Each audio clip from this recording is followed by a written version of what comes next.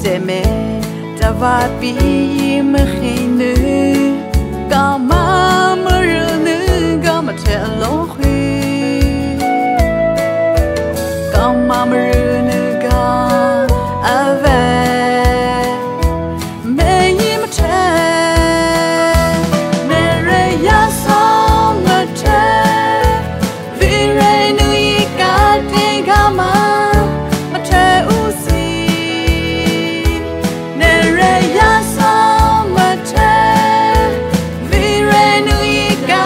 think I might